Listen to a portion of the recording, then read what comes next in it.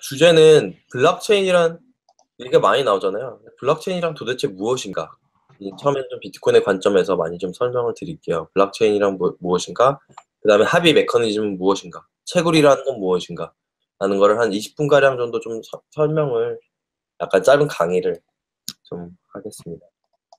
하시다가 중간에 어, 어렵거나 뭐 이런 거 있으시면은 그 질문 많이 해주시고요. 이해 안 되시는 부분이 있으면 그 페이스북이나 유튜브를 통해 갖고 질문해 주시면 그거는 바로바로 답해 드릴 수 있는 건 답해 드리겠습니다. 네, 그럼 바로 시작할게요. 오늘 블록체인에서 블록4 강의입니다. 블록체인이란 도대체 뭘까요? 사람들 정말 블록체인, 블록체인 얘기를 많이 하죠. 비트코인, 비트코인이 블록체인인가? 뭐 이런 얘기도 많이 하고 블록체인은 잘 되는데 비트코인은 안 된다. 비트코인은 잘 되는데 이런 얘기들이 많이 있어요. 그래서 도대체 블록체인이란 뭔가 좀 더 항상 제가 항상 강조를 드리는 거지만 항상 기술적인 부분이 어, 어느 정도까지는 필요합니다.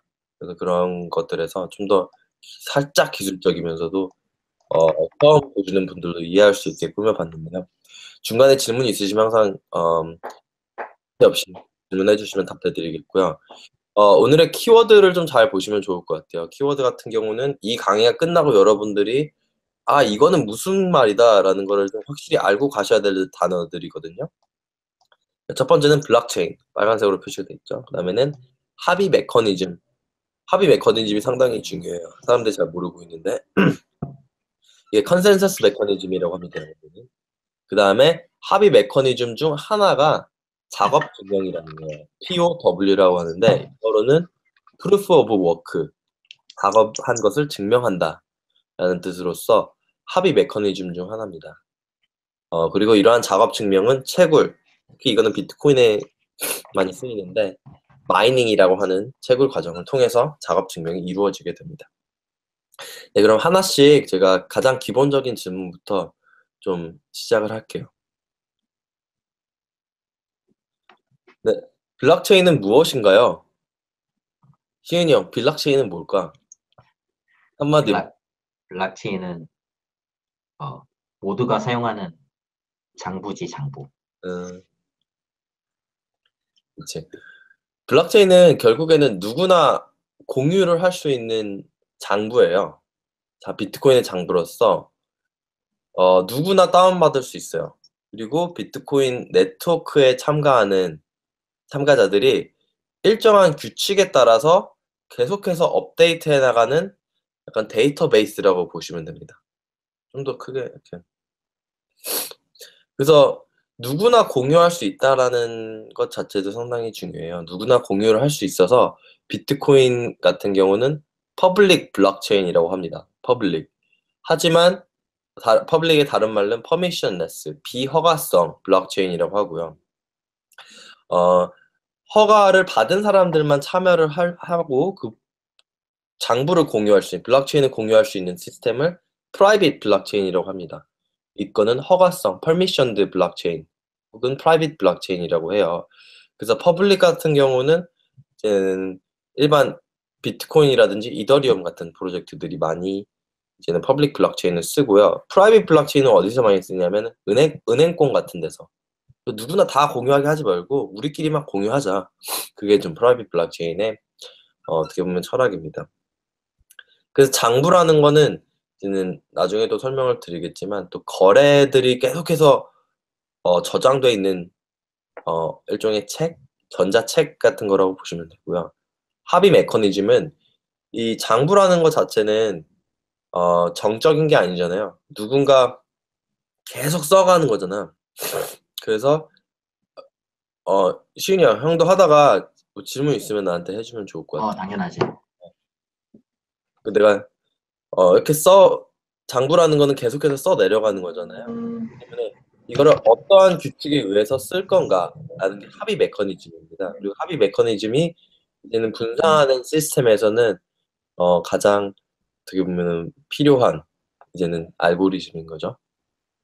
다시 한번 말씀드리면 누구나 공유할 수 있는 창고 어, 일정한 규칙에 따라서 업데이트를 해 나간다라는 게 이제 블록체인의 가장 어떻게 보면 핵심적인 부분인 것 같습니다. 잘 보이실려나? 그 다음은 가면은 그렇다면 블록체인은 어떠한 내용들이 들어가나요? 라는 질문입니다. 어, 그래서 블록체인에는 많은 내용들이 들어가긴 해요. 근데 가장 핵심적으로 들어가는 내용들은 비트코인의 거래 내역이다. 재밌는 거는 비트코인의 생성 2009년에 사토시 나카모토가 비트코인을 만든 이후에 비트코인으로 이루어진 모든 거래 내역들이 블록체인에 저장이 되어 있어요. 그래서 사이즈가 상당히 크죠. 그래서 블록체인에는 블록체인은 당부기 때문에 비트코인의 모든 거래 내역들이 저장되어 있는 데이터베이스다. 그리고 이것을 아까 이전 슬라이드에서 말씀드렸던 것처럼 누구나 자유롭게 공유를 할 수가 있다. 어, 그런데 이제 모든 거래 내역들 같은 경우는 익명, 블록, 비트코인의 익명성을 추구하기 때문에 개인의 이름이 아닌 개인의 공개 키, 어, 공개 키가 아니네요. 주소인데, 어, 공개 키의 해시 값인데, 주소, 뭐, 키 값이 저장이 됩니다. 근데 이걸 자기의 이름이 저장되는 게 아니라 자기의, 어, 예를 들면 아이디 같은 것이 저장된다고 보시면 돼요. 그래서 이건 완전한 익명성도 아니고 완전한 투명성도 아니고 중간에 좀 애매한 성질인데 이거를 가명성 그러니까 내가 가명을 사용해서 비트코인 네트워크에 참가를 한다. 가명이라고 한다면은 이때는 주소가 되겠습니다. 네. 그래서 블록체인에는 모든 비트코인에 이루어진 모든 거래 내역이 들어간다. 라는 거 알아두시면 되고요. 어, 그렇다면 이제 블록체인은 어떠한 형태로 구성이 되어 있나요? 라는 질문이 있는데 블록체인은 말 그대로 블락의 체인입니다. 음, 그래서 블락들이 계속해서 이어져 있는 어, 데이터베이스 형태라고 생각을 해주시면 돼요. 어, 그래서 블락의 기본 단위, 블록체인의 기본 단위는 어, 블락인데요. 네, 형 이게 좀 더 잘 들리잖아? 어, 잘 들려. 아, 그러니까 그것도 뭐 네, 블락의 체인의 기본 구성 단위는 이제 말에 그 단어에서 알 수 있다시피 블락입니다. 각 블락이 모여서 이제 블록체인을 이루는데요. 블락에는 약 10분간 전 세계에서 이루어지는 모든 비트코인의 거래 내역들이 저장이 되게 됩니다. 어, 그래서 이러한 블록들이 체인 형태로 쭉 이어져 있는 것이 블록체인이라고 보시면 돼요. 그래서 현재 블록체인이 있는데 현재 블록체인에도 계속해서 약 평균 10분 어, 의 시간 동안 시, 간격을 두고 계속해서 블락이 추가가 되고 있어요. 지금도. 그래서 이게 멈춰 있는 게 아니라 장부는 누군가는 계속 써야 되는 거잖아요. 그렇기 때문에 계속해서 블록체인에 하나씩 10분마다 블락이 붙고 있다라는 거를 어, 알아두시면 좋을 것 같습니다. 그리고 이것은 또 이제 여러 가지 사이트들이 있어요. 그쪽에서 지금 블락이 계속 어, 붙고 있는 것도 확인이 가능해요. 그리고 그 안에 있는 거래들도 모두 본인이 확인이 가능하고 약간의 코딩을 한다면 네 그래서 블록체인은 말 그대로 블락의 체인이다 그리고 어, 비트코인으로 이루어지는 거래를 모두 저장한다 이렇게 생각을 해주시면 좋겠습니다 네 그래서 그 다음에는 살짝 제가 어, 그려봤어요 좀 잘 그리지 않았나요? 엄청 예쁘, 지 않나요? 네, 색깔도 엄청 다양하고 무슨 크레파스로 그린 것 같아. 그, 그 효과를 줬지. 좀 더 친근한 느낌을 주기 위해서. 네, 그래서 여기서 오른쪽에 보시면 블락 134, 135, 136이 있잖아요. 이거 숫자는 제가 임의로 준 거고요. 그러니까 블록체인 같은 경우는 일렬로 이렇게 블럭이 쭉 연결된 형식의 데이터베이스 형식이다라고 보시면 돼요. 근데 데이터베이스인데 어떤 걸 저장한 데이터베이스냐? 비트코인이 이루어지는 거래를 저장하는 데이터베이스다. 그래서 위에 빨간 색깔 글씨를 보시면 어, 이 134 전에는 쭉쭉쭉쭉 올라가서 처음 블락 처음 블락 그걸 우리가 최초의 genesis block이라 그래요. 최초의 블락을 genesis block이라는 건데 그것은 비트코인을 만든 사토시 나카모토가 채굴한 블락이에요. 채굴이라는 것 자체는 나중에 또 말씀을 드리겠지만 일종의 연산 능력을 사용해 가지고 블락을 블록체인에 붙이는 과정을 얘기를 합니다. 그첫 번째 블락은 나, 사토시 나카모토가 채굴, 한 블락부터 현재 것까지 모든 거래가 시간 순으로 기록이 돼 있어요. 블락이. 그래서 블락 134는 블락 135보다 먼저 이루어진 거래들이 저장되어 있고요. 블락 136에는 또 마찬가지로 블락 135에 비해서 어 100, 135 이후에 이루어진 거래들이 이제는 기록이 되어 있습니다. 그래서 각 블락에는 약 10분간 이루어진 비트코인의 거래 내역이 들어 있고요. 약간의 랜덤성이 있기 때문에 약 10분이라는 표현을 사용했습니다. 이것은 나중에 좀 더 책으로 어, 이- 말씀드리면서 좀 더 자세하게 얘기를 드릴 텐데요. 그래서 각 블락에는 10분 동안 이루어진 비트코인 거래 내역이 들어 있다는 거. 어, 그리고 이러한 블럭들을 이어놓은 거. 체인 형태로 이- 일렬의 체인이 한 줄로 이어놓은 것이 이제 블락 체인이다라는 걸 보여주시면 될 것 같고요. 그 다음에 장부의 특성상 계속해서 뭔가 적혀 나가야겠죠. 계속해서 비트코인으로 실시간으로 거래가 이루어지기 때문에 어 근데 이거를 옛날 시스템이랑 비교해 보면은 어 좋으실 것 같아요. 그러니까 기존의 시스템 같은 경우는 어떻게 했었냐면 은행에서 중앙 데이터베이스에서 신뢰를 가진 사람들이 장부를 계속해서 적어 나가면 됐었어요. 혼자서. 왜냐면 중앙 집중된 구조기 때문에 중앙 데이터베이스만 수정을 하면 되거든요. 근데 이젠 비트코인 같은 경우는 분산화된 시스템이잖아요. 그러니까 누구나 장부를 가질 수가 있고 누구나 장부를 작성할 수가 있어요. 여기서 당연히 이제 제시되는 문제는 뭐냐면 인터넷상에서 누구나 다 작- 장부를 작성을 하면 헷갈리잖아요. 누구께 맞는지 모르잖아요. 그래서 그 수많은 이젠 참가자들 중에서 이제 그들 가운데 어떻게 장부 작성 권한을 배부할 것인가? 누가 작성한 거를 맞는 걸로 우리가 합의할 것인가? 라는 문제가 비트코인뿐만 아니라 이더리움도 그렇고요. 뭐 요즘 나오는 코스모스도 그렇고요. 모든 블록체인의 핵심 중의 핵심이에요. 기존 시스템에는 없던 부분이고요. 이게 엄청나게 많은 인터넷상에서 익명의 참가자들 가운데 어떻게 합의를 이끌어낼 것이냐. 그게 정말로 큰 문제입니다. 그래서 이제 여러분들이 투자를 하실 때도 보셔야 되는 게 이 합의 메커니즘이 얼마나 정교하게 짜여져 있느냐, 합의 메커니즘이 좋은가, 라는 거를 어, 주의 깊게 보셔야 돼요. 예를 들면 옛날에 저희가 구글 얘기를 많이 하는데 구글 같은 경우는 성공한 이유가 단 하나였거든요. 구글의 검색 알고리즘이 엄청나게 뛰어났기 때문에 어, 지- 개인적인 의견으로는 합의 메커니즘이라는 것 자체도 그 정도로 중요하지 않을까라고 생각을 합니다. 결국에는 이게 어떻게 합의를 이끌어내느냐 하는 문제이기 때문에 어, 물론 이게 다는 아니에요. 여기서는 smart contract 같은 경우는 이제 안에 어떤 내용을 어떠한 언어를 사용해서 넣을 것이냐 이런 문제도 중요하긴 한데 그만큼 또 중요한 것이 이제 합의 메커니즘이다 라고 보시고 좀 더 여기에 관심을 많이는 안 가지신 것 같아요. 제가 얘기를 해본 결과로는. 근데 이제 합의 메커니즘이 정말로 또 중요한 알고리즘이다 비트코인에서는. 그리고 여러 가지 시도들이 이루어지고 있다. 특히 이제는 논문 같은 게 정말 많이 나와요 이 분야에 관해서.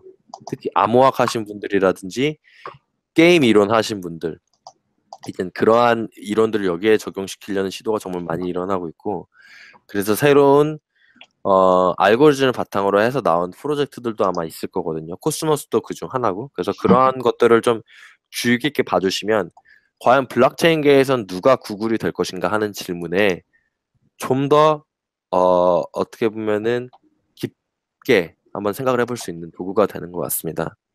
그래서 이제 블록체인 같은 경우는 중요한 문제가 네트워크 참여자들이 합의 메커니즘에 따라서 일종의 규칙이죠. 우리 이런 규칙을 따르자라고 하는 거예요. 이러한 합의 메커니즘에 따라서 새로운 블록을 블록체인에 계속해서 추가시켜 갑니다. 지금도 이제 계속해서 추가가 되, 되어가고 있고요. 그래서 이, 이 정도가 이제 블록체인의 가장 기본적인 핵심이다. 이렇게 보시면 될 것 같고 어, 이더리움이든 블록 비트코인이든 라이트코인이든 어, 코스모스든 뭐든지 다 이런 블록체인 합의 메커니즘 이런 구조를 구조는 다를 수 있지만 이러한 기본적인 형태는 어, 모두 다 가지고 있습니다.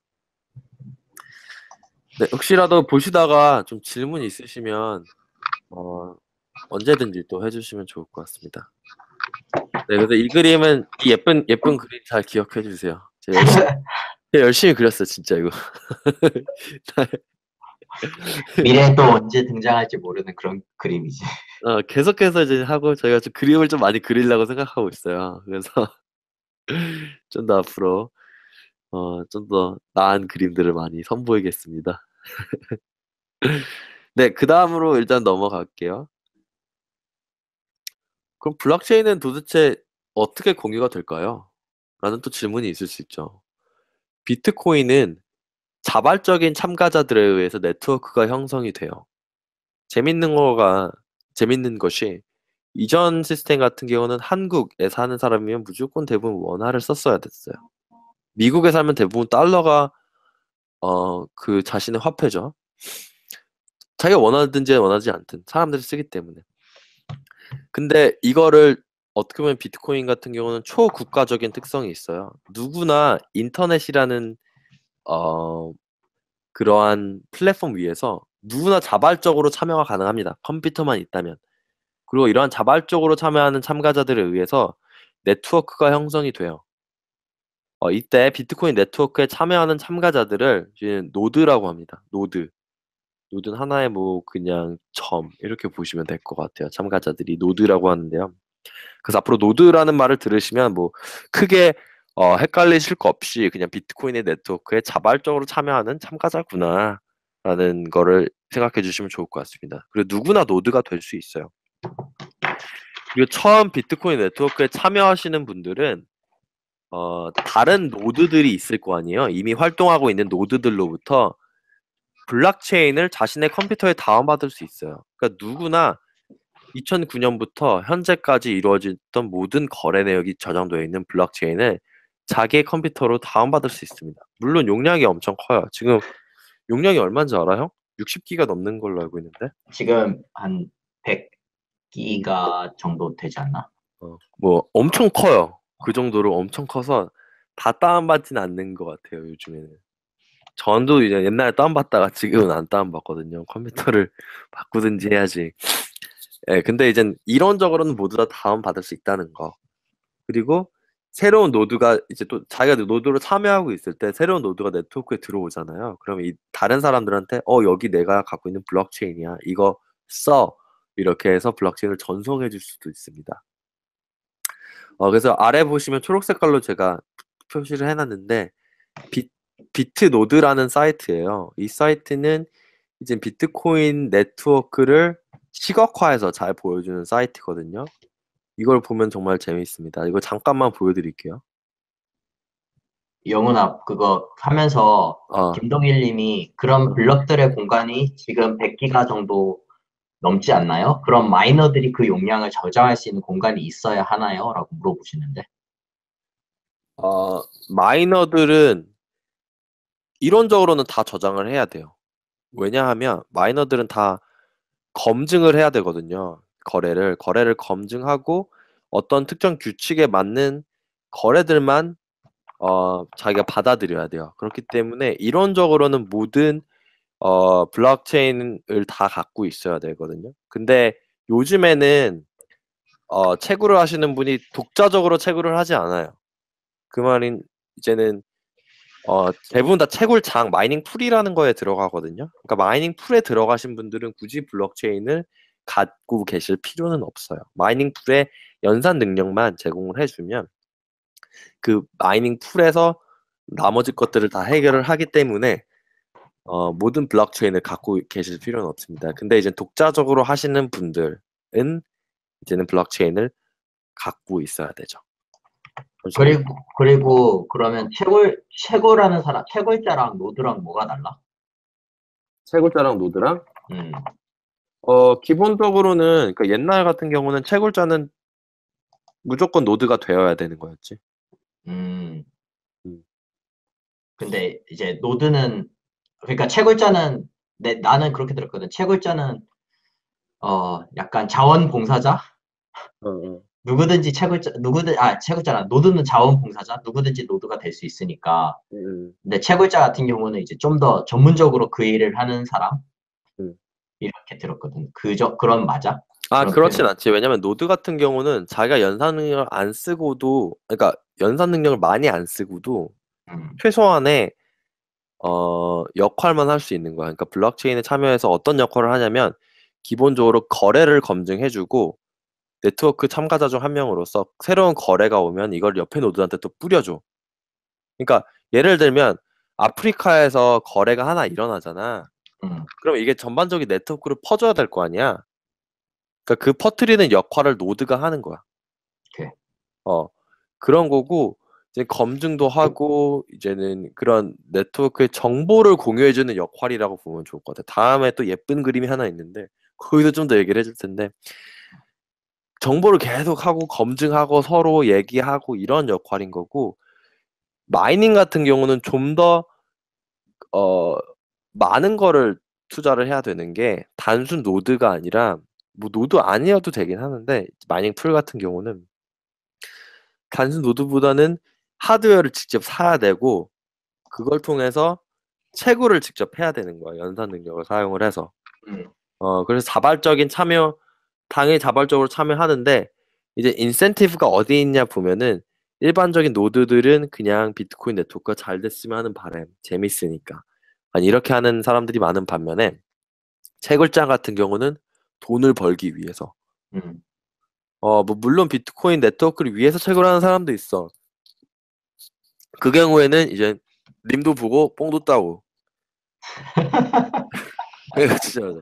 왜냐면 채굴도 하고 참여도 하고. 왜냐면 채굴이라는 거 가장 깊게 참여하는 방법 중 하나이기 때문에 그렇지.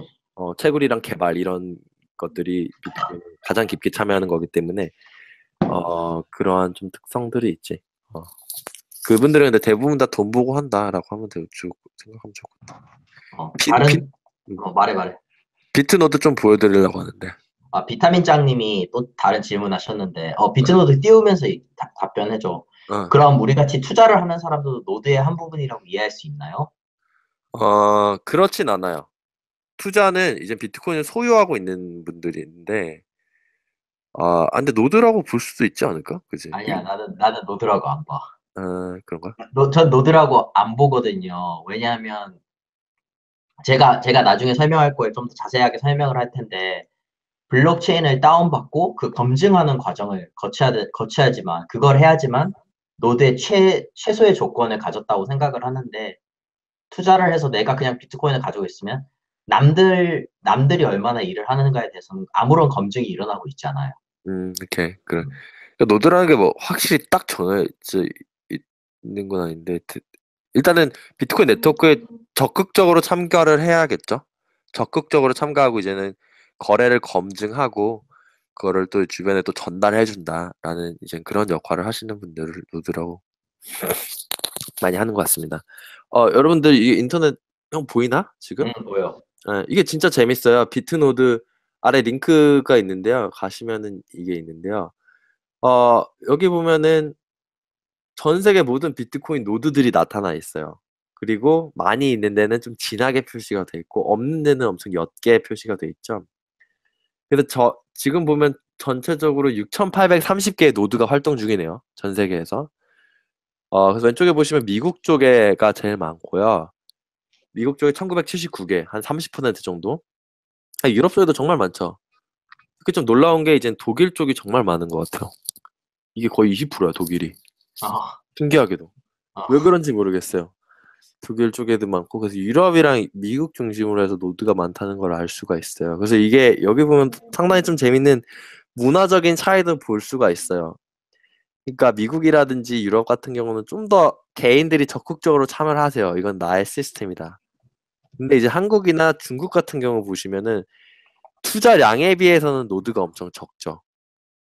그러니까 어 뭔가 좀 더 덜 적극적으로 그러니까 투자에 대해서는 관심이 엄청 많으신데 직접 네트워크에 참여하고 아 이게 내가 만들어가는 시스템이다 하는 인식은 좀 적은 것 같아요. 음, 그거 좋은 지적, 되게 좋은 지적인 것 같아. 네, 맞아요. 그래서 이게 여기 딱 보시면 수치적으로 바로 나타나잖아요. 그래서 제가 봤을 때는 어, 좀 좋은 서비스가 우리나라에서 많이 나오려면 이 노드들이 좀 많아져야 된다고 생각을 하거든요. 자발적으로 참여하고 이분들은 자발적으로 참여하기 때문에 의견을 내세요. 그러니까 이번에 하드포크, 소프트포크에서 중요한 것도 이 노드들의 숫자예요. 음. 그러니까 여러분들이 참여를 하시면 여러분들이 중요해질 수가 있어요. 의견을 내실 수가 있어요. 나는 하드포크가 좋아. 이렇게 생각만 하는 게 아니라 노드로 참여하시면 이 6,830개 중에 노드가 하나가 되셔가지고 나는 하드포크를 지지합니다라는 거를 공식적으로 비트코인 네트워크에 얘기를 하실 수 있는 거예요. 그렇기 음. 때문에 어 자기가 권한이 있다고 생각을 하셔도 좋고요. 좀더 투표 투표권 아니야? 일종의 투표권 투표권의 개념이 상당히 많은데 채굴일 수도 있고 여기서는 거, 어, 그래서 하나로 정의될 수는 없지만 투표권의 일종이라고 볼 수 있죠. 볼 수 있지. 어, 그래서 아래 보시면은 조인 더 네트워크라는 게 있어요. 어, 그래서 full node라는 거는 모든 블록체인을 다 갖고 있는 것들을 얘기를 하거든요. 그래서 여기 보시면 아래 어떻게 시작하는지도 좀 나와 있거든요. 그래서 이걸로 한번 시작해 보시는 것도 재밌는 아마 경험이 되실 것 같아요. 근데 100기가바이트이기 때문에 어, 일반 분들은 좀 힘드시고 하시려면은 뭐 가능은 하세요. 요즘에 컴퓨터가 좋아졌기 때문에 그래서 컴퓨터 좋으신 분들은 가능한데 근데 내가 저거 해봤 내가 해, 해봤는데 음, 100 많은 분들이 100기가여서 아 너무 많아 이렇게 생각하실 텐데 지금 100기가의 10배 그러니까 1테라 하드가 5만 원밖에 안 해요. 5만 원밖에 안 해서 용량은 문제가 안 되는데 저거를 노드를 다운받기 시작하면 며칠 동안 켜놔야지 다운을 다 받거든요. 그 블록체인을. 맞아요. 엄청 좀 오랫동안 다운받아야 돼요. 그 진짜 귀찮아요. 어, 김동일님이 질문을 해주셨는데 블로코의 김종환 대표는 검증 수가 3억 5천만 대라고 했는데 그 어떤 말인지 잘 모르겠네요. 검증 수가 3억 5천만 대라는 게. 어. 네. 음, 일단 여기는 검증을 참여하고 있는 노드가 그렇게 된다는 거고요. 어, 음, 네, 3억 5천이라는 숫자는 솔직히 어디서 왔는지는 잘 모르겠습니다. 감이 잡혀요? 어디서 온 건지? 아니 전혀 안 잡히는데. 아, 예, 예. 그래서 그건 노드, 노드가 검증을 몇 번은 하니까 계속 하니 계속 하는 거니까 맞지? 예, 그 검증 수가 뭐 3억 5천만이라고 하면 좀 말이 될 수도 있을 것 같긴 해요. 네, 근데 일단은 어, 노드 수는 상당히 적어요. 그러니까 중국 같은 경우도 저희랑 비슷해요. 중국도 돈 투자는 진짜 많이 해요. 근데 여기에 참여하냐, 적극적으로 이제 참여하냐라는 거는 또 다른 문제인 것 같습니다. 아무래도 좀 문화적으로 다른 것 같고요. 솔직히 전 세계를 보시면 눈에 띄는 곳은 미국과 유럽이죠. 미국과 유럽이 눈에 많이 띄고 저는 이게 엄청난 경쟁력이라고 생각합니다. 우리가 인프라스트럭처라는 게 음. 우리가 그 말하잖아. 음. 비- 완전 만약 수소 폭탄이 전 세계에 떨어지면 블록체인이 전부 다 날아가는데 음. 블록체인 복사본 하나만 있어도 전부 원상 복귀시킬 수 있다고. 음. 그게 노드 때문에 가능한 거 아니야? 어, 그쵸. 분산화돼 있으니까 어떤 걸 다 부시더라도 남아 있는 건 몇 개 있겠다라는 거고 재밌는 거는 이제 우주에서 채굴 하자는 아이디어도 있어. 그렇게 되면 지구가 망해도 비트코인은 망하지 않는 약간 와, 재밌는 아이디어가 있는데 근데 이게 다시 한번 좀 본론으로 들어오면 미국에는 노드를 돌리고 있는 사람이 2천 2천 명이에요. 2천 명. 엄청난 숫자거든요. 근데 저희를 보시면 저희도 생각보다 많아요. 15등이에요, 전 세계. 나쁜 수치는 아닌데 61명밖에 없어요. 그래서 이게 시사하는 게 뭐냐라고 하면은 많이들 물어보세요. 회사에서 금융회사에서도 그런데요. 뭐 현대 같은 현대 삼성 이런 대기업들에서도 그런 얘기가 많대요. 야, 우리가 비트코인 같은 거 한번 우리가 코인 한번 발간해 보자. 이렇게 얘기를 하거든요. 그러니까 여러분들이 이제 투자를 하시거나 뭘 하시거나 이제 사업 계 어떤 사, 분의 사업 계획을 들을 때는 자기가 코인을 만들겠다고 하시는 분들은 일단은 그렇게 얘기하시는 분들을 그냥 의심부터 해보시면 좋아요. 그러니까 이게 자기의 힘으로 되는 게 아니거든요. 음. 이게 정말로 좋은 아이디어가 있어서 그 알고리즘이 좋아야 돼요. 그냥 알고리즘이 좋으면 올리면 사람들이 어 좋다 해서 커뮤니티가 전 세계 형성돼야 되는 것이지 우리나라에서 어디서 이거 코인 봤는데 그거는 중요한 게 아니거든요. 그래서 이제 다단계 같은 거 빠지시는 분들이 많은데 제 친구도 정말 똑똑한 친구인데 다단계에 빠졌어요. 그래서 이해가 안 되는 거예요. 그래서 이거 같은 경우는 저희가 항상 주의를 드리는 게 정말 쉬운 일이 아니다. 생태계를 만드는 거는 자발적으로 알고리즘의 힘에 의해서 엄청난 중력을 발휘해야 되는 거예요, 알고리즘이. 그래서 사람들을 엄청나게 끌어와서 해야 되는 거고요. 기업이 그거를 하지 못하는 이유는 단순해요. 왜냐면 그 정도로 실력 있는 개발자들은 기업에 안 가는 게 돈을 몇백 배, 몇천 배 벌 수 있기 때문이에요. 그러니까 이더리움 같은 경우라든지 코스모스라든지 가장 실력 있는 개발자들은 자기가 백서, white paper라는 걸 통해서 어, 개발자 커뮤니티라든지 전 세계에 알립니다. 그러면은 비트코인을 통해서 순식간에 크라우드 펀딩이 돼요. 몇 천억을 버는 거예요. 그러니까 굳이 기업에 들어가진 않겠죠. 그분들이 잘할 수 있으면. 그러니까 기업들이 한다. 그러면은 거의 확률이 거의 없다고 보시면 될 것 같아요. 개발자 입장에서는 음, 음. 빌 게이츠가 모델 모델 아니겠어? 빌 게이츠? 어, 그치? 어, 어떻게 보면.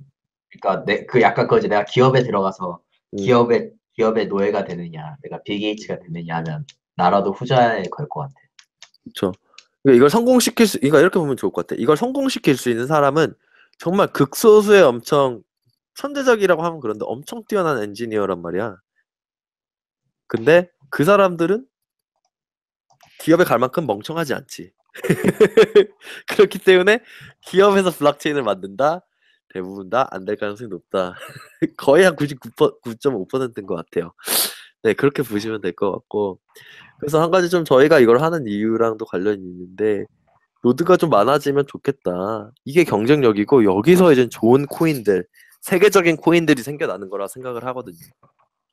그래서 투자도 좋으시지만, 항상 제가 강조를 하는 게, 노드를 한번 돌려보고, 그리고 저희가 하나 생각하고 있는 게, 내가 생각하는 거야. 약간, 뭔가 완전 초보자를 위한 비트코인 프로그래밍 과정?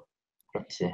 어, 그런 거를 한번 만들어 보면 재밌을 것 같다는 생각이 들어요. 그래서 그렇게 하면 자기가 직접 블록체인에 기록을 해볼 수 있거든요.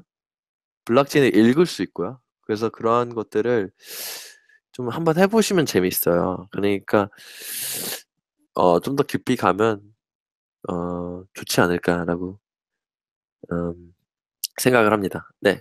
그래서 일단 이 비트, 비트 노드 한번 가서 보세요. 재밌어요. 쿠웨이트에는 딱 노드가 하나네요. 몽골도 하나예요. 그러니까 이런 나라들에 비해서 훨씬 낫죠. 근데 거기는 이제 다, 다 선구자들, 그 나라의 선구자들이겠지. 예, 러시아는 좀 많네. 181개 있고 뭐, 이집트도 하나 있고 그래서 상당히 좀 재미있습니다. 아마 이런 데는 거래소도 없을 것 같은데 없지. 어, 그래서 상당히 좀 한번 쭉 가서 보시면 재밌는 자료입니다.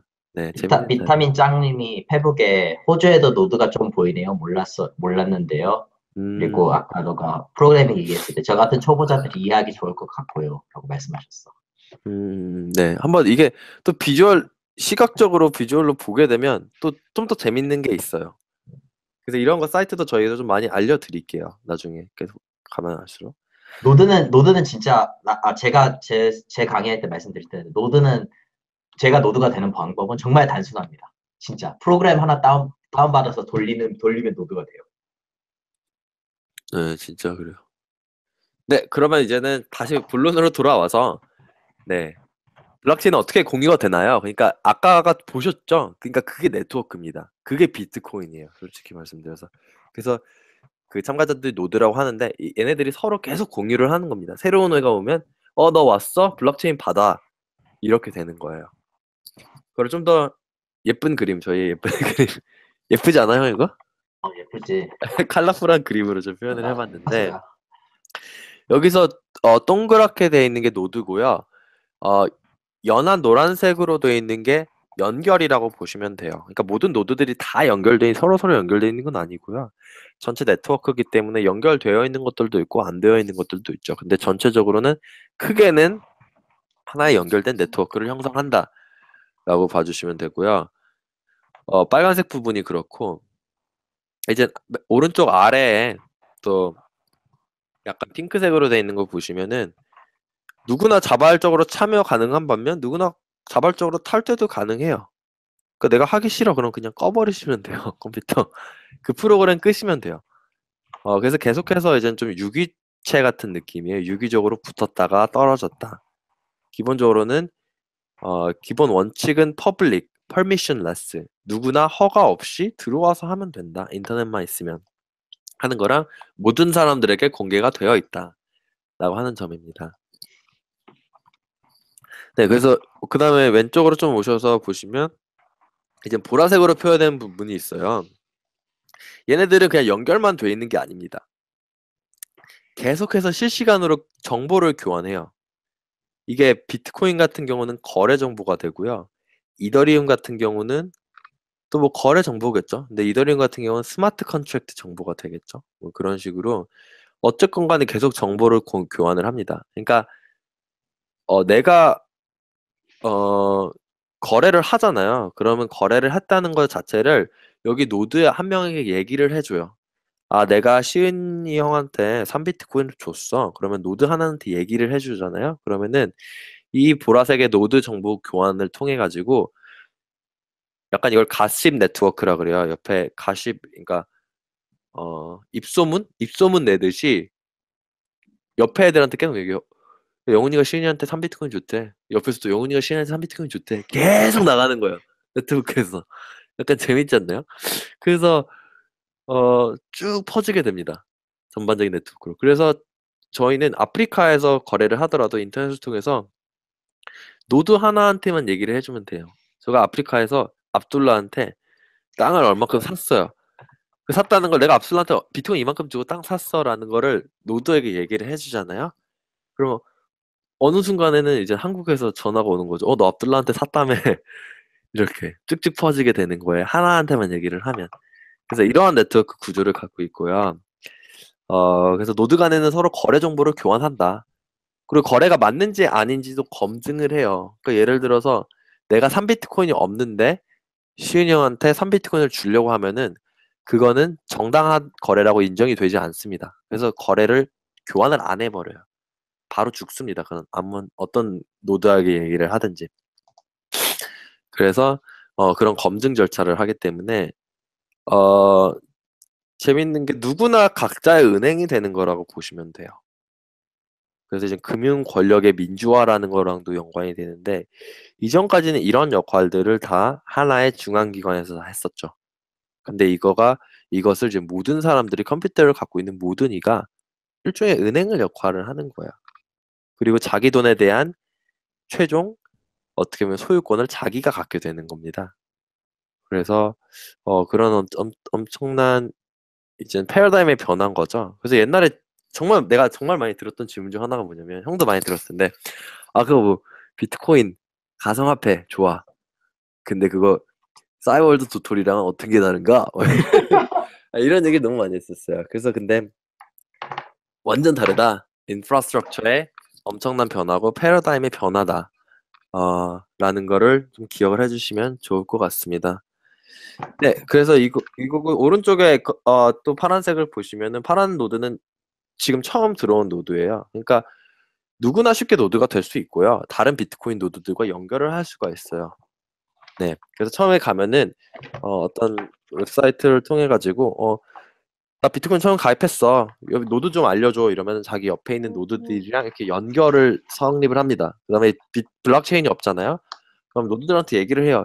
얘들아 나 블록체인 없어. 이 부분 좀 줘. 그러면은 이렇게 노드끼리 블록체인을 전송을 계속 하게 되는 거죠.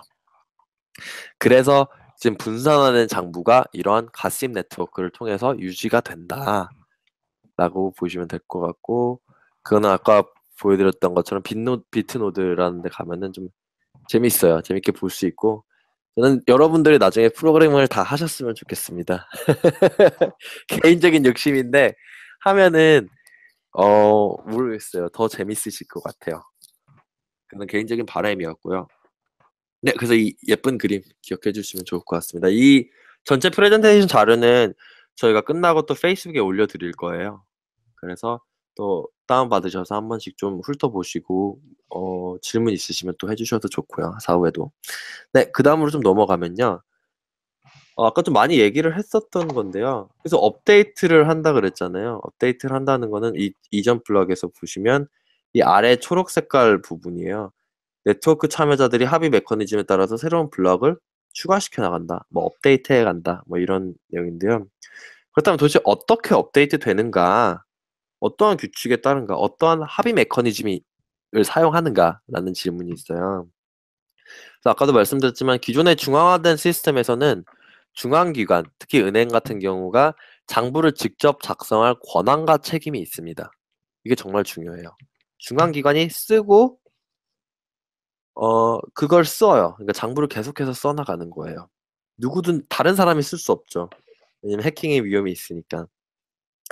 근데 이제 블록체인은 누구나 공유할 수 있는 분산화된 장부이기 때문에 누가 써야 되냐 하는 게 엄청 큰 문제입니다. 이게 아, 아까도 말씀드렸다시피 합의 메커니즘이라는 거고 어, 결론부터 말씀을 드리면 장부 블록체인이죠. 의 작성 권한 또한 분산화돼 있어요. 어떤 절대자가 내가 다 쓸 거야 이렇게 할 수가 없습니다.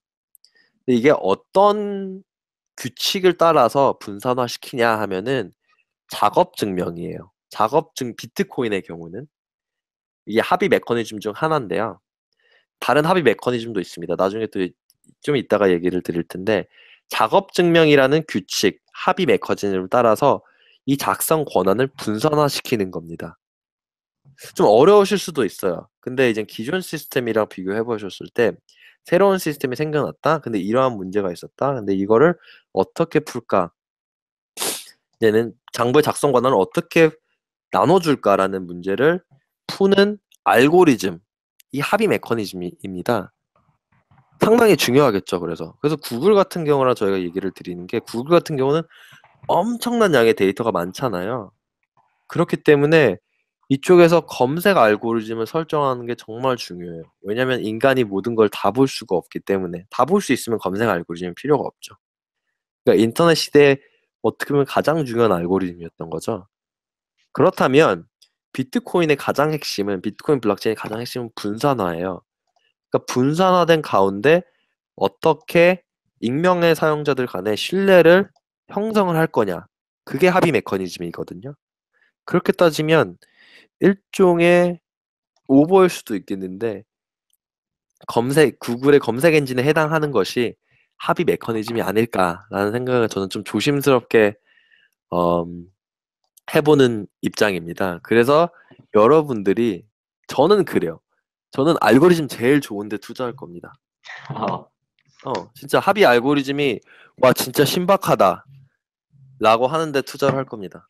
거기가 어쨌거나 네트워크 효과는 있어요. 비트코인 블록체인에서는 그렇기 때문에 그런다고 한다면 저는 알고리즘 좋은 곳에 남들보다 알고리즘 그래서 알고리즘 공부하는 이유고요.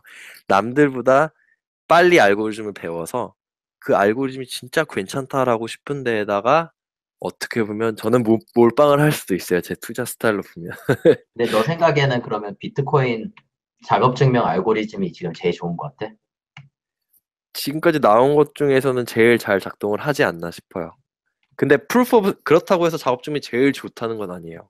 아 맞지. 이거는 발, 개선 사항이 계속 어, 많지. 어, 이거 어, 단점 그러니까 있으니까. 이게 야후가 어차피 구글 검색 엔진 나오기 전까지 야후가 사람들이 제일 좋았던 것처럼 인식한 것처럼 솔직히 내가 전문가가 아니니까 어 그냥 뭐 물론 아 그냥 단점은 있지만 어 아직까지 제일 잘 작동을 하기 때문에 어 뭐 그런 지금까지는 괜찮다라는 입장인데 어떤 거든지 그거는 나는 확신은 잘 못하겠어. proof of stake가 좋은지 작업 증명이 좋은지도 어뭐 proof of stake가 좋아 보이긴 하지. 근데 이제 또 제대로 작동을 할 수, 하면 한다면은 그렇지 또 몇 년간 돌려봐야 되는 거고 음, 그 scaling 문제도 다 겪어봐야 되는 거고 어 맞아. 그리고 정치적인 문제를 푸는 게 정말 힘들 수 있기 때문에 네, 그쵸.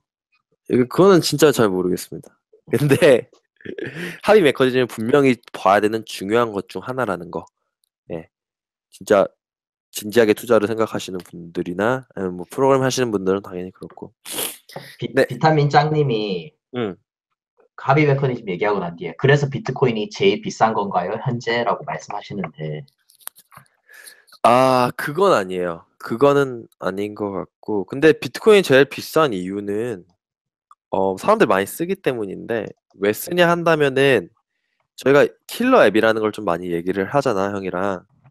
근데 비트코인, 이더리움 모든 블록체인 생태계를 통해서 가장 실질적으로 가장 많은 가장 잘 작동하는 시스템은 현재는 비트코인이에요. 다른 시스템들은 막 화려해 보이긴 하지만 아직 작동을 안 해요. 그게 진짜 맹점이에요. 근데 비트코인이라는 거는 확실한 가치를 주- 준단 말이에요, 사람들한테. 왜냐면 수수료가 엄청 지금은 좀 많아지긴 하지만 그래도 적게 나오고 누구나 금융 어, 계좌를 만들 수가 있고 인터넷만 하면 예전에도 말씀드렸는데 전 세계 70억 명 중에서 금융 계좌가 없는 사람이 40억 명 이상이에요. 50% 이상이에요. 그런 사람들한테 그런 사람들이 비싼 어, 몸 없었던 이유는 계좌가 없었던 이유는 은행 비용이 너무 비쌌기 때문인데 은행을 그 은행들의 역할을 클라우드화 시켜버린 거예요 비트코인이 그렇기 때문에 누구나 계좌를 만들 수 있고요 어 뭐 미국이랑 아프리카에서도 자유로운 합, 어 가- 거치의 거래가 가능하게 만들었고요 뭐 그러한 것들이 확실히 실제로 작동하고 있는 서비스가 있기 때문에 어, 아마 좀 가장 그래도 좀 크지 않을까. 그리고 가장 먼저 만들어진 거고, 어, 또 그런 네트워크 효과라는 것도 무시할 수가 없죠. 네, 그래서 여러 가지 좀 복합적인 요인들이 있는 것 같습니다. 근데 가장 큰 건 아마 제일 잘 작동하는 블록체인. 블록체인의 큰 형님이기 때문에 그러지 않을까. 앞으로도 계속 그럴 수도 있고 아닐 수도 있는데요. 그거는 제가 확답은 못 드리는데, 네, 기본적으로는 그렇습니다. 다음 슬라이드 넘어가기 전에 어, 어, 어, 두 가지만 말하고 싶어. 음. 그 중앙기관이 장부를 직접 작성할 권한 이거에 대해서 혹시 어, 작성할 권한과 책임이 있는데 우리가 지금까지 큰 문제가 없어서 없었어라고 생각하시는 분들은 음, 작년에 있었던 9월달에 있었던 웰스 파고 은행의 음, 사기 행각이 있어요. 음, 그래서 웰스 파고 사기 행각 그게 뭐 이 은행이 미국에서 가장 큰 상, 상업은행 가운데 하나의 웰스 파고가 수백만 개의 가짜 계좌를 만들어서 고객들의 돈을 가로챘거든요. 가로채는 거가 가능한 게 얘네들이 작성을 할 수 있기 때문에 직접 작성을 할 수 있는 권한이 있기 때문에 그런 거고요. 음, 그거 한번 그거 한번 확인해 보시면 좋을 것 같고 음, 그리고 그쵸. 작업 증명이라고 하면 이게 힘들다고 생각하시는 분들이 많은데 작업 증명은 우리가 평소에 쓰고 있어요. 뭐냐면 예를 들어서 그 서울에 이제 남산 타워가 있죠. 근데 남산 타워를 봤을 때 우리가 아는 거 확, 알- 확실하게 알 수 있는 거는 누군가가 남산 타워를 이제 피와 땀과 돈을 써서 지었다라는 걸 확실하게 우리가 증명할 수 있잖아요. 음. 남산타워가 우연, 우연으로 거기에 서 있는 게 아니잖아요. 그걸 보면서 저희가 작업 증명이라고 해요. 그래, 비트코인도 비트코인 몇 비트코인이 채굴이 됐다. 25개, 50개, 몇, 몇 개가 채굴이 돼서 나왔으면 이것이 채굴기라는, 채굴기라는 게 자기 에너지를 쏟아가면서 수학 공식을 풀어서 나온 결과물이다라고 저희가 확신을 할 수 있는 거예요. 음, 그쵸. 네, 됐어요? 부부님 코멘트 하셨어. 선전 효과에 의해 많은 사람이 사용하고 있고 많이 사용할수록 화폐의 가치가 올라가는 부분이 가장 크지 않을까 싶네요. 아, 네, 그쵸. 이 부분도 분명히 있죠. 근데 이젠 기본적인 시스템이 좋아야지 많이 또 사용하고, 사람들이 많이 오면 또 이게 가치가 올라가고, 가치가 오면 또 사람들 많이 쓰고 약간 그런 선순환 효과라는 게, 네, 물론 정말 많습니다. 예. 그리고 화폐는 많이 써주면 써줄수록 좋은 거잖아요. 그렇기 때문에 안전하게 많이 또 쓸 수 있으니까 그런 부분이 아마 좀 제일 좀 큰지 않을까 싶습니다. 근데 이거는 언제든지 또 바뀔 수 있다는 거 항상 이- 이해를 해주시고요. 여기는 진짜 정글 같아요. 이 블록체인 industry는 어, 잘 모르겠습니다. 잡아먹히고 그 도태되고 이게 너무 빨라서 항상 미래를 예측할 수가 없어요. 그래서 미래를 예측할 수 있다고 하시는 분은 다 100% 사기라고 보시면. 아 이건 100% 사기야. 내가 그래서 미래를 확실히 예측하는 거는 맞아, 맞아. 근데 나는 그래서 이제 저 같은 경우는 이제는 항상 알고리즘 알고리즘 약간 그건데 알고리즘이 좋으면 그게 약간 엄청 큰 중력이다. 약간 이렇게 생각을 하는데 또 알고리즘만으로는 안 될 수도 있어요. 또 여러 가지 또 상황이란 게 있으니까. 항상 확신을 할 수 없다는 게 확신할 수 없다는 게 저희가 딱 한 가지 확신한 사실입니다. 네, 일단 다음으로 넘어갈게요. 그래서 업데이트하는 것 자체는 그 정리를 해드리면 어, 정말 필요하다. 왜냐면 이전 시스템에서는 한 명이 다 작성하기 때문에 책임 권, 권한의 분 부여가 필요가 없었는데 이제는 분산화됐기 때문에 권한을 분산화시켜야 되기 때문에 그걸 어떻게 할까라는 게 정말 중요한 문제고 그거를 해결하는 방식이 각 블록체인마다 다른데 그게 합의 메커니즘이다. 근데 비트코인은 그 중에서도 작업 증명이라는 합의 메커니즘을 사용하고 있다. 라고 보시면 될 것 같습니다. 네. 그러면 작업 증명이란 도대체 뭘까요? 작업 증명이라는 거는 채굴이랑 깊게 연관이 되어 있습니다. 채굴은 마이닝이라고 하는 건데요. 실제로 이제 금광 채굴하는 것 같다 그래서 채굴이라는 이름이 붙었어요. 그래서 채굴이라는 과정을 통해서 연산 작업을 많이 한 노드에게 장부의 작성 권한을 부여합니다. 그러니까 이- 단순해요. 연산 작업이라고 하는 거는 여기선 컴퓨터 파워예요. 컴퓨터 비싼 거 많이 사서 열심히 돌리는 사람에게 장부 작성 권한을 주는 거예요. 어떻게 보면 엄청 민주적인 방식인 것 같아요. 예를 들면 너 일 많이 했으니까 너가 권한 많이 가져 이겁니다. 너가 정말 열, 열심히 네트워크에 참가를 했으니까 너가 작성해 라는 겁니다. 다른 말로 좀 더 기술적으로 들어가면 비트코인 네트워크 전체 노드들 있죠. 아까 그 네트워크가 어떻게 합의를 보느냐 이건데 작업이 가장 많이 소모된 블록체인. 그러니까 일을 가장 많이 해서 우리가 만든 블록체인을 가장 정당한 블록체인으로 인정하기로 서로 합의하는 겁니다. 그렇기 때문에 이게 합의 메커니즘이라는 이름이 붙었고요. 어, 그래서 일을 가장 많이 하는 사람이 장부를 가장 많이 쓸 수 있어요. 그런 시스템입니다. 그래서 아마 좀 이해가 안 되실 수도 있을 것 같긴 한데 어렵 어렵다는 거. 근데 기본적으로는 이렇게 단순하게 생각해 주시면 좋을 것 같아요. 어차피 계속해서 비슷한 내용들 저희가 차근차근 말씀을 드릴 텐데 어, 일을 많이 한 사람한테 정부의 작성 권한을 주자. 그러니까 이런 내용입니다. 이게 또 나중에 이게 또 리스크가 있어요. 51% 어택이라는 게 있는데 이거는 제가 다음 시간에 설명을 드릴 겁니다. 51%의 어, 공격이라고 하는 공격인데 이걸 어떻게 해결을 하냐 라는 문제가 또 있어요. 근데 그게 어떤 문제고 그걸 어떻게 해결하냐를 좀 다, 다음 시간에 좀 다룰게요. 근데 오늘은 그냥 작업 증명이라는 건 채굴이라는 이일 노가다요. 컴퓨터가 엄청 노가다 하는 거예요. 엄청 힘들어하고 채굴 하시는 분들은 다 아시겠지만 365일 24시간 항상 돌려야 됩니다. 전기세 소모 엄청 나고요. 어, 이제는 일반 하드웨어로 안 되고 또 그 특별 하드웨어가 있어요. ASIC이라는 특별 하드웨어가 있어서 엄청나게 많은 컴퓨터들이 24시간 노가다 함으로써 비트코인을 채굴을 하고 있습니다. 네.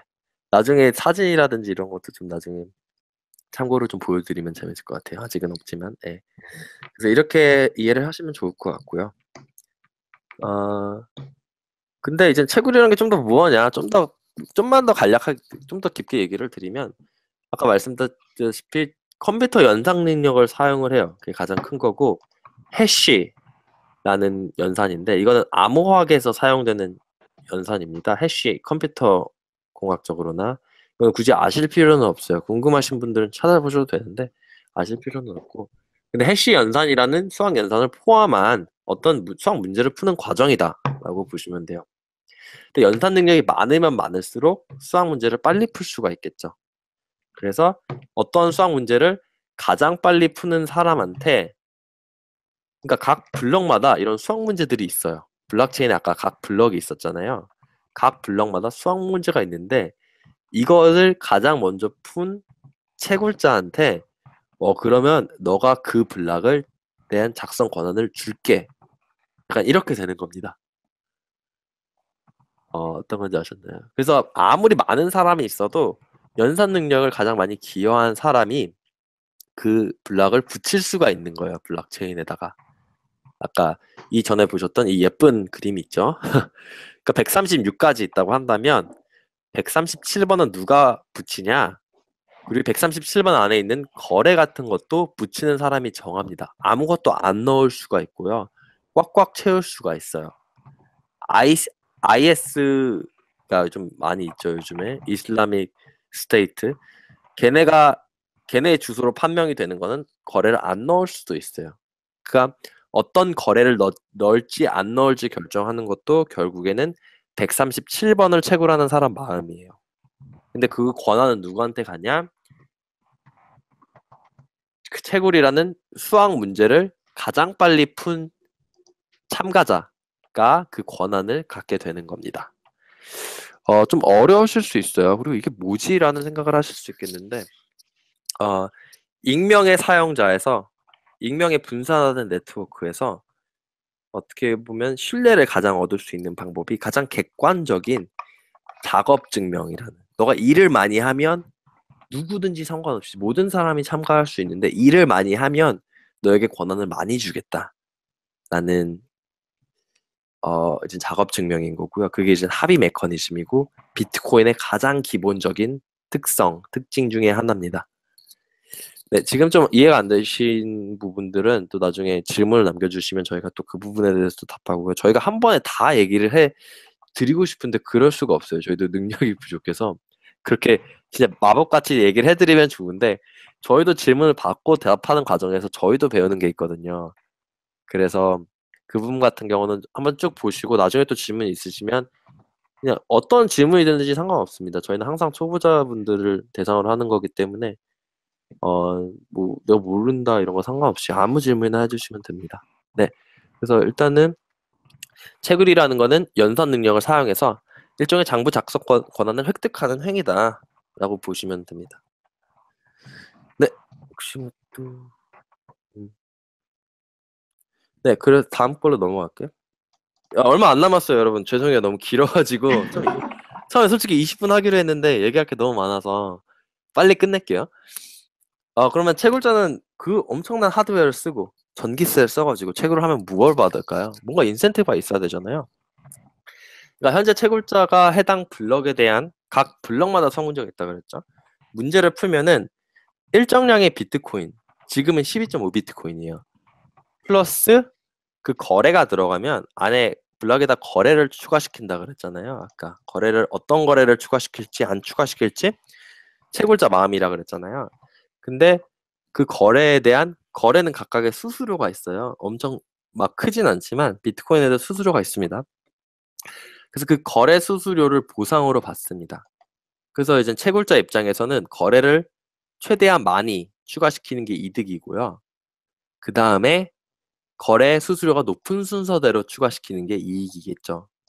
이게 왜 중요하냐면 이게 요즘에 블록체인 어 Unlimited랑 비, 아, 비- 아, 비트코인 Unlimited랑 비트코인 Core 간의 싸움의 핵심 중에 하나예요. 거래 수수료라든지 채굴자의 역할과 채굴자의 인센티브 이게 요즘 가장 핫한 hard fork죠. hard fork의 핵심 중에 기술적인 핵심 중에 하나입니다. 그래서 이게 저희한테 물어보시잖아요. hard fork 어떻게 될 건가요?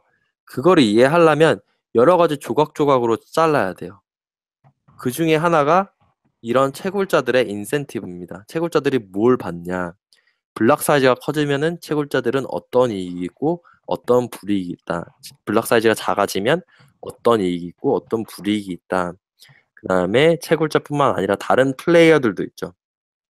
그래서 게임 이론이라고 예전에도 말씀을 드린 게 정말 그냥 게임 이론입니다. 이거 내가 봤을 때 진짜 게임 이론이. 이거 연구도 솔직히 진짜 많아요. 그래서 이 부분을 정말 잘 보셔야 돼요. 네, 이 부분에 대해서 어, 뭐, 물론 다른 분들의 평가를 믿는 것도 좋, 좋아요. 분석을 믿는 것도 좋은데 어, 좀 더 깊게 들어가시면요. 그냥 어, 이 사람은 하드포크가 좋대라고 하는 할 수가 있고요. 아, 이 사람은 어, 비트코인 채굴자들의 어, 인센티브가 이런 방향이기 때문에 이거와 잘 맞추려면 하드포크를 해야 하지, 하면 안 된대. 약간 이런 뭐 해야 된대. 뭐 이런 식으로 좀 더 구체적으로 왜 해야 되는지를 아실 수가 있는데요. 그 중에 가장 핵심이 되는 게 이겁니다. 핵심 되는 것 중 하나가. 예. 그래서 채굴자는 이거 풀면 비트코인이랑 거래 수수료를 보상으로 받는다는 거. 그리고 채굴자는 아까 기본적으로 독자적으로 채굴을 한다면 노드가 돼야 된다고 말씀을 드렸어요. 그러니까 채굴자들은 계속해서 어, 그 노드로 있으면서 어, 거래를 관, 관찰을 합니다. 그래서 얘네들은 대부분 다 거래 수수료가 높은 순으로 정렬을 시켜요. 그 수수료가 높은 것부터 이제는 최대한 꽉꽉꽉꽉 블락에 채워서 채워서 넣어서 채굴을 하는 겁니다. 네. 그래서 비트코인은 발행량이 정해져 있어요. 그 발행량이 이겁니다. 발행량이 채굴자가 받는 비트코인의 양이에요. 그게 발행량입니다. 그래서 발행량이 결정돼 있다는 거고요. 발행은 누구를 통해서 되느냐? 그럼 100% 비트코인은 채굴자를 통해서 신규 화폐가 발행이 된다. 라는 거를 또 중요한 사실입니다. 22.5 비트코인이 비트코인의 유일한 신규 화폐 발행량이에요. 약 10분 동안. 평균 10분이에요. 이거는 수학 문제가 평균 10분 넷, 전체 네트워크의 연산 능력을 고려했을 때 평균 10분에 풀 수 있도록 자동적으로 계속해서 설계가 됩니다. 2주마다. 그래서 평균 10분이라는 거고요. 평균 10분에 12.5 비트코인이 계속해서 시장에 풀리는 거예요. 신규 발행되는 거고 이게 신규 발행되는 유일한 비트코인 양이다.